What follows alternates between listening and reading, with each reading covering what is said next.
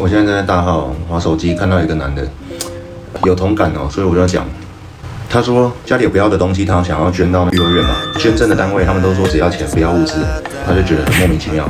我其实之前遇到一模一样的状况，我们之前跑了五家幼儿园去送物资嘛，但是其实我们已经打电话问了二十几家了，有十五间左右都说只要钱，他们不要物资。你们看到那影片？问了很久才问到了，还有一个单位跟我要飞镖机嘛？跟我要飞镖机啊？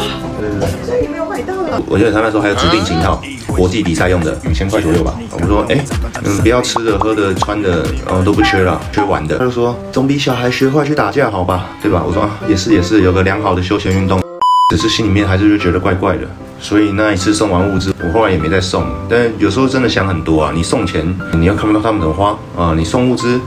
就感觉他们好像每件都不需要，因为现在都企业化经营了啊。上次不是新闻说家福中心都好几亿了。当然也有一种讲法，就是说其实我们捐赠就是一个心意，别人是不是诈骗，别人是要怎么乱花你的钱，那你就不要想太多。的确是很头痛，但是我目前我的钱应该是规划跟蹦板一样，去路上发一发。